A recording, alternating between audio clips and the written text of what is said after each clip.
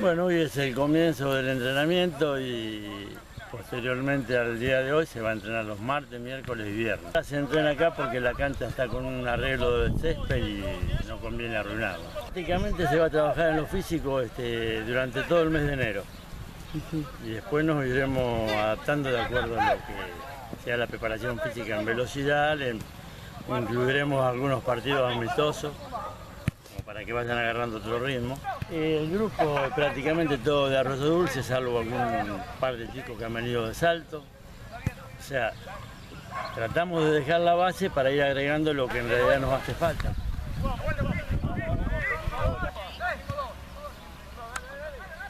Nosotros el tema de la cancha, estamos trabajando en el tema de la cancha para hacer las- todas las mejoras que se puedan hacer, también este, dependiendo una ayuda municipal que habíamos pedido, que estaba en la gestión anterior, no sé cómo habrá quedado el tema ese hoy, pero momentáneamente nos vamos eh, manejando con esfuerzos propios, dado que es una lástima que Arroyo Dulce no pueda participar de, un torneo de fútbol cuando vos misma como periodista has visto que la cancha y lo que es para la gente de Arroyo Dulce, que lo único que tiene el domingo es poder ir a, a disfrutar del día y, y ver los chicos de acá. Vos has estado y vos has visto que no ha habido ningún solo desmán. Sí. Entonces, eh, nosotros creemos que Arroyo Dulce se merece tener fútbol. Nosotros tenemos un equipo con todos jugadores locales, los cuales todos este, están jugando a honores, nadie cobra un peso. Hemos hecho una excelente campaña por ser el primer año después de más de cinco años de- sin hacer fútbol y pretendemos este año mejorar la, la performance. Esa es la idea. Hoy por hoy entonces el club se mantiene con la cuota social. La, la cuota social, que son eh, 15 pesos. Y bueno, no, y después lo- los recursos que tenemos son eh, alquileres del salón, eh, peñas que se van haciendo en distintas actividades que tenemos, eh, ayuda también de la gente. En el caso del fútbol tenemos, gracias a Dios, buenas publicidades en la camiseta que, que te sol- solventan bastante el campeonato. O sea, lo vamos manejando de esa forma. Sí necesitamos, necesitamos apoyo. ¿Y qué sería bueno, por ejemplo, que desde la parte de deporte de, de la Municipalidad de Salto quizás colaboren? Y lo- nosotros nos gustaría que, por ejemplo, nosotros ahora tenemos que dar, hacer todo el tema eh, médico los chicos, que sería una gran, una gran ayuda si ellos podrían eh, facilitarnos el médico.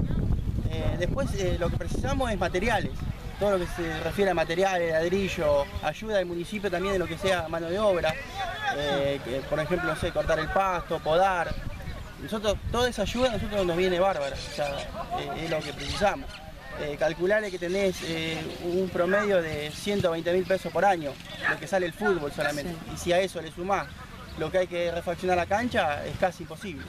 Por eso precisamos la ayuda del municipio.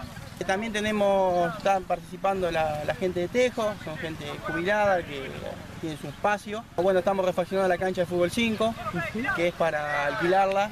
Eh, se, está- se sembró el pasto, se está arreglando el alambrado. Después bueno, vamos a abrir, la, si Dios quiere, la conserjería para, para también tener más recaudación al club. Eh, y bueno, se van, se van a ir sumando, y creo que en el transcurso del año se van a ir sumando actividades que hoy, hoy cuesta mucho sumar la actividad Con por la- el tema del, del profesor. Hoy un profesor no baja de, de los 5 mil pesos para que, venga acá a Arroyo Dulce. Y para que venga a Arroyo Dulce también todo un tema, porque tiene viático, por ahí los colectivos no funcionan en, muy bien que digamos en el tema horario, entonces se complica. Y tener las actividades que hay dentro del club, rearmarlas de vuelta. O sea, si tanto bocha, eh, vole, lo que sea, lo que se pueda sumar al club, nosotros tenemos las puertas abiertas a todo el mundo. Nosotros queremos que gente que sume. El año pasado se cometieron muchos errores, entonces este año nos, nos sentamos evaluando y, y este año queremos que... Como asamblea en marzo.